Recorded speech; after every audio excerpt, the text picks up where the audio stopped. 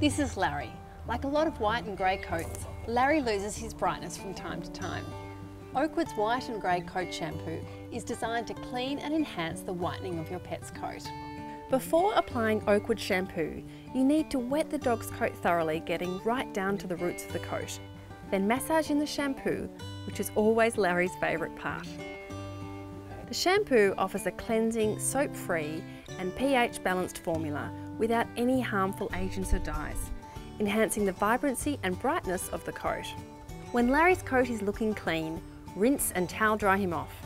If it's cold, use a hairdryer to completely dry the coat before brushing. Now Larry is back to his bright and cheerful self. Love your pet, love Oakwood.